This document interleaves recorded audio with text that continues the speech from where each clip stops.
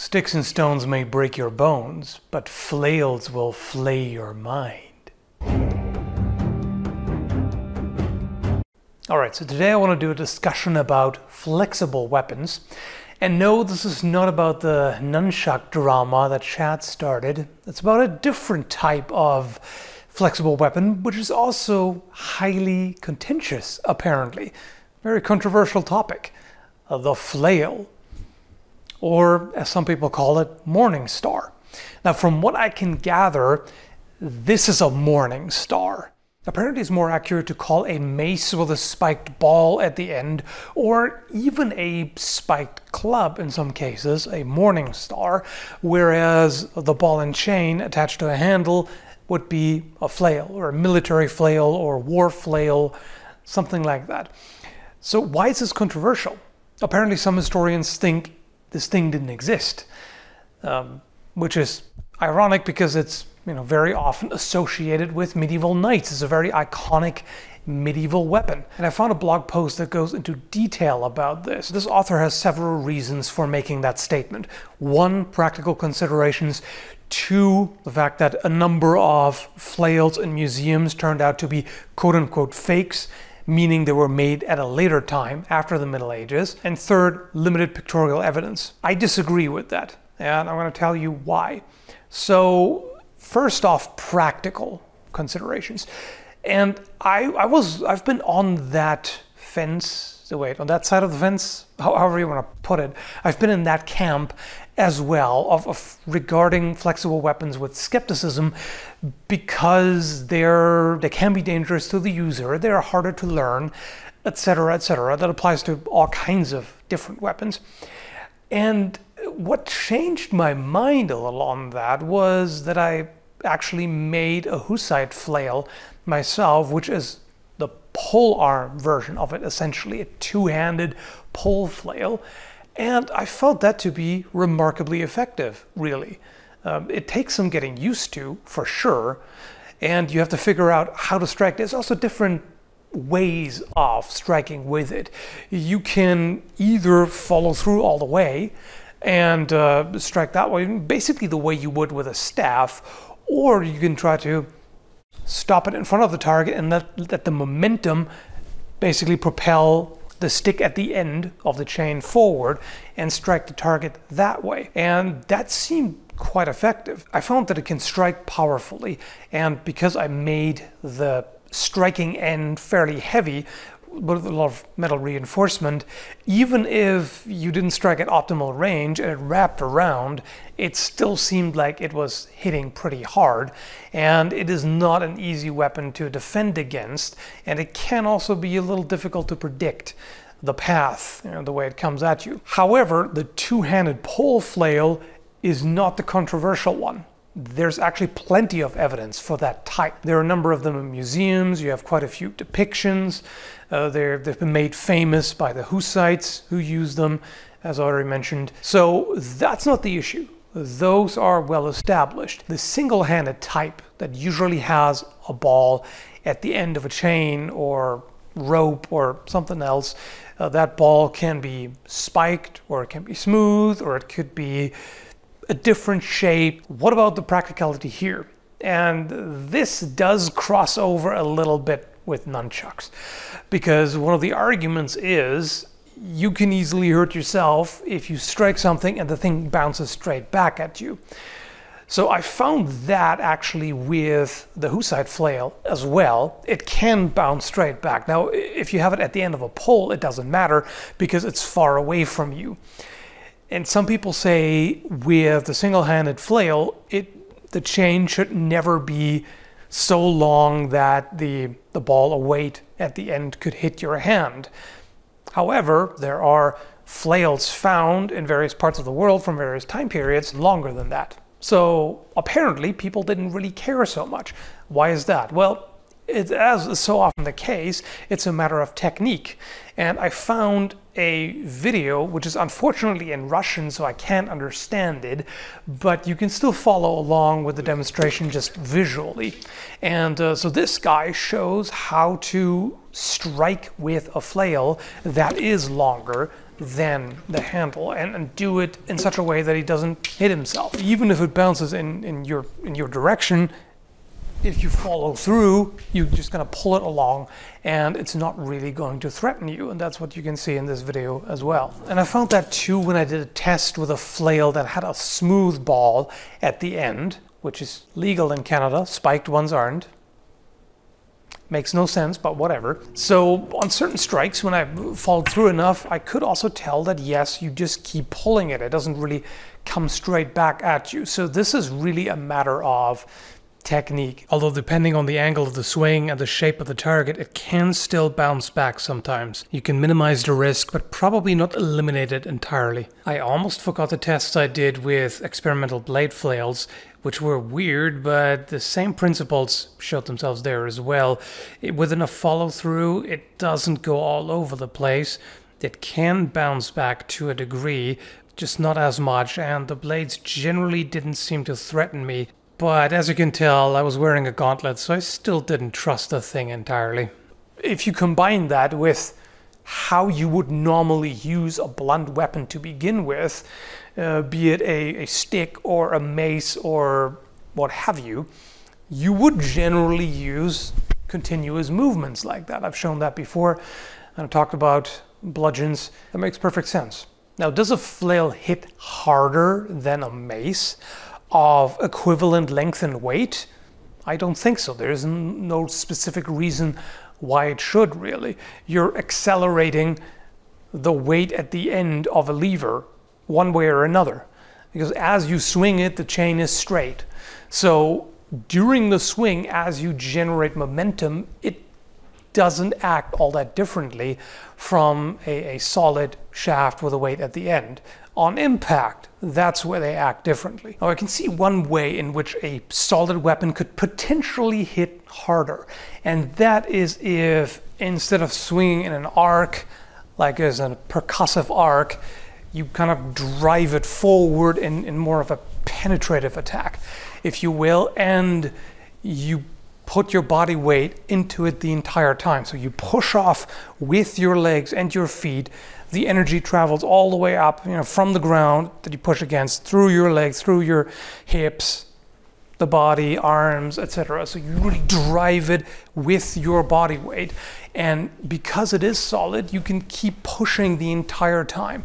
So even at, when you hit, you can still kind of drive forward. So that could possibly make it a bit more effective. However, that comes at a price, and that is a lot of that force comes back into you as well. And uh, this is one of the disadvantages I've, I've mentioned in the other video. Hand shock is vicious with these, um, more so than with swords. So if you strike something really hard with a blunt weapon, you get a lot of vibration and shock transferred into your hand, and it can even be jarring to the point where you might risk dropping it. That's amplified on horseback. So, this is why the single handed flail is actually quite an effective horseman's weapon. And this also makes a lot of sense considering that turning it into a single handed weapon makes most sense if you are on horseback because you can't as effectively use it with two hands when you're riding a horse. In parts of Asia, surprisingly long handled flails were used on horseback, but still with one hand. So you combine the velocity from your swing with the flail with the velocity of the moving horse, and that can hit extremely hard. So at that point, as soon as it strikes something, this is not transferred immediately into your hand, and particularly if you ride past, the, the ball can move independently of the handle. So if the, the ball or weight connects and you move on, then it just gets pulled and you know because there's flexibility in it, it doesn't it's not as likely to get stuck and then you know transfer force back to your arm. Right, that reminds me, I need to be aware of my hands. Sometimes I get very animated and talk a lot with my hands, and then I might be hitting the microphone. Sorry if I have done that so far. I'll try to avoid it now. So, as a cavalry weapon, that is quite effective. Uh, just like with other blunt weapons, you have the disadvantage that they're not as good for defense. And you can argue that A flail is worst of all. The way it's shown in this video, again, I don't understand what he's talking about, but he's, he's showing, you know, parrying with this short handle and I'm pretty sure he's saying something like this is not very effective because you just don't have that much to work with. But he shows an active defense where he meets the sword cut with the flail which you know, wraps around with such a long chain and deflects it off to the side. So there might still be ways of defending yourself just more actively by striking into the attack with a flail, but ideally it would be combined with a shield or buckler, of course, for protection. I'm sure you could discuss the practicality a lot more, but because I personally don't have as much experience with using a flail, I'm going to leave that to somebody else who has more experience. So as far as I can tell, yes, it has drawbacks. It also has some advantages, just like anything. So it's not a horrible weapon, as far as I can tell. So, on to the next point. Fakes or flails made later, possibly as ceremonial items rather than combat weapons as such. So, there are a few examples mentioned, and you have that issue sometimes in during Victorian times, for example. They sometimes made copies of medieval weapons, and they did them pretty well to, to the point where it can get a little confusing. But sometimes they also made something up that they thought existed in the Middle Ages or wanted to exist or who knows what. I found a number of examples made in the 16th or 17th century or later and you have to excuse me for looking at my phone here. I've got so many pictures. I just got to remind myself of what there was. This one here is a very iconic form, a German flail from the 15th or 16th century with pretty long spikes attached to the ball. There's one from the 15th or 16th century. Now 15th, that is still Middle Ages. Uh, I mean 15th to 16th, now we're looking at the transition from the Middle Ages to the Renaissance.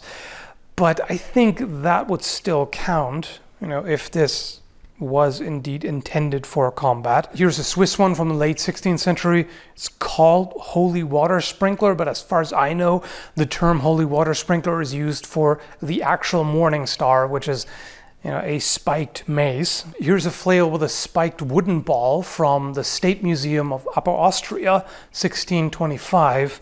I found a few others, and this is the general tendency. They're typically from the 16th or 17th century, so after the Middle Ages. You could argue, especially in the 17th century and later, firearms were quite dominant on the battlefield, and the 16th century also saw plenty of firearm use already. However, I don't think we should dismiss them all and, and just claim that, oh, they, they weren't really designed for use. There are some sort of fanciful looking examples where I could think, okay, yeah, maybe this, this was a novelty item or, or ceremonial or what have you. There's, always this, this naughty, naughty word, ceremonial. Anything we don't understand is ceremonial for ritual use. Anyway, so it can be hard to say exactly which of them were actually intended for use and which weren't, but there was quite a number, and I don't find it easy to believe that they were all just decorative and not intended for use. Here's a flail from Russia, supposedly from the 14th century. That's the earliest example I could find. I couldn't verify it. This is indeed from the 14th century, so I'm just going to have to take it at face value. And Russia has quite a bit more to offer than just this one example. In fact, the Kisten is a flail that was popular in Russia, was also used in Poland and other places.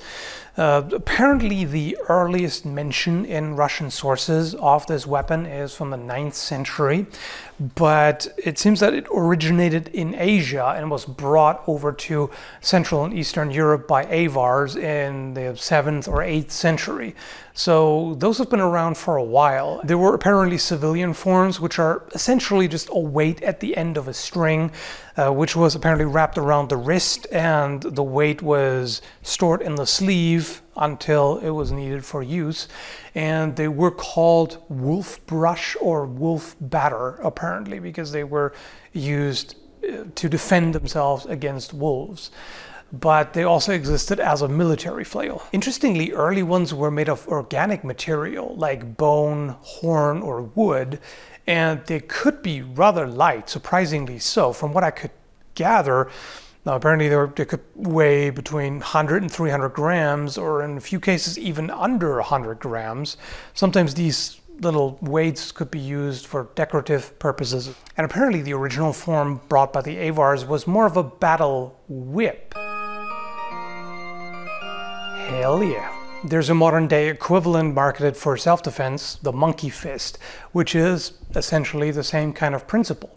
And of course, you can also draw comparisons to the Chinese meteor hammer, for example. And there are, in fact, forms of this flail that don't even have a handle as such, but perhaps have a loop. And, you can easily imagine something like this being used just, just held at the end of the leather strap or string or chain or whatever it might be. And this is one of the benefits. It's a very, very simple weapon and one that you can easily carry because it doesn't take up any significant space, especially if it doesn't even have a handle or if it has a very short handle. Uh, here's a, a pair of meteor hammers where you can see this kind of really short handle. They don't always have a handle apparently. So if you just take something like this that either has a short handle or none, yeah, you can easily roll that up, coil it up, stuff it in your pocket. Like this is extremely easy to carry, to conceal. And this, by the way, is also a practical benefit of nunchucks over a stick. They're essentially less than half the length that an equivalent stick would be. And you can easily fold them up and carry them much better. By the way, did you know that there is a flail tank in the Second World War, which was apparently used to detonate mines? All right, so back to that blog post that considers flails to be fake, which is shared by some historians.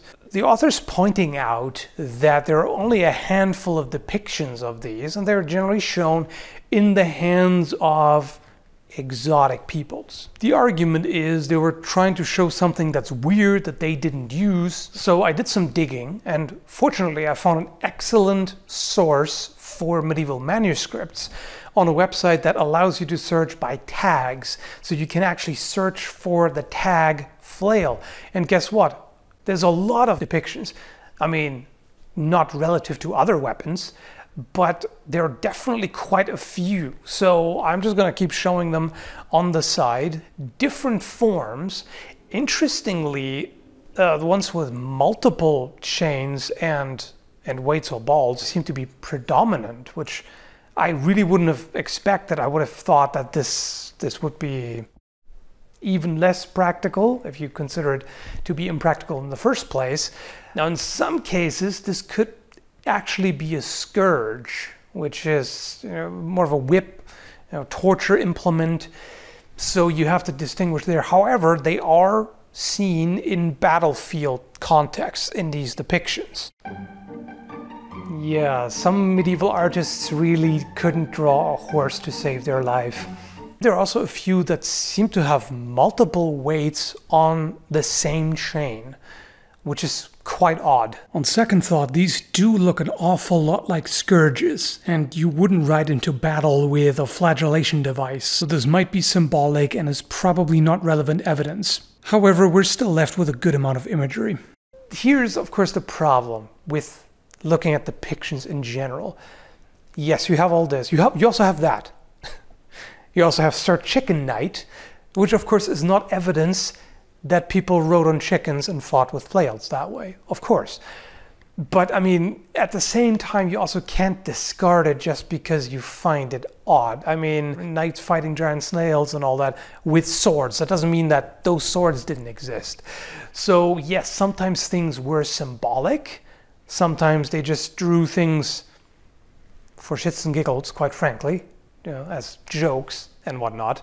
So, yes, it is difficult to say with certainty, but there are a number of battlefield scenarios depicted. I can't really imagine that literally all of them are just supposed to be, oh, something, look at this weird exotic thing, especially considering the existence of these flails in Russia and other places since at least the 9th century. So if those were known in Eastern Europe and they show up in various manuscripts, I don't think we can just dismiss them. I think there's a little bit too much evidence. Now, they're pretty rare compared to uh, maces and even the actual morning stars, spiked maces. And the two handed pole flail also shows up quite a bit more in manuscripts. So clearly, this form wasn't as common, but that doesn't mean that it didn't exist and wasn't used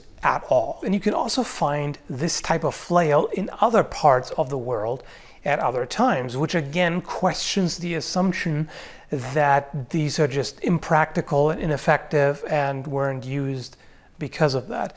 Uh, for example, here's a depiction from the Ming Dynasty, which shows a rather classic looking flail. There's also the Japanese chigiriki, which I probably butchered horribly. Uh, and you have other weapons that use a weight at the end of a chain, like the kusarigama that I talked about just recently. If you haven't seen that video, link down below. Shameless self-promotion. In India, you have the kabastin, kabastin, I don't know how to pronounce it, but that's what it looks like. So also a flail and with a remarkably long chain. So clearly they weren't concerned about hitting themselves, at least if these were indeed made for combat. Uh, these are examples from the 19th century, so it's I don't I don't know for sure if they were intended to fight with. Uh, you also have Korean flails, but they're really more like the agricultural type you know, more like a pole flail, although there were shorter versions. So this is essentially kind of like a nunchaku, except that one of the sticks is a lot longer than the other. So this is essentially the pole flail as a single-handed version that you can use on horseback, and they are indeed shown used by cavalry. Does this prove conclusively that the ball and chain flail was used in medieval or even Renaissance Europe? No. There's always some uncertainty. You never know exactly, especially considering that so many of the finds apparently were from a later time. I remember back in Europe visiting a number of museums that had medieval weapons and that most of the time showed flails as well but could they have been from a later time? I don't know. It's been a long time. I can't remember. I remember seeing them, but I don't remember what, what time period they were exactly dated to.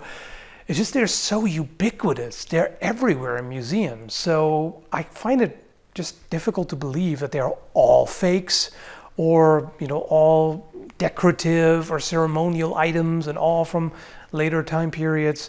It it seems more plausible to me that they were rare but were indeed in use and did exist. Anyway, that's just my perspective based on the research I've done as a non-historian. I could be wrong. Feel free to um, have a discussion in the comments below. Let us know what you think. But either way, I hope you found it interesting.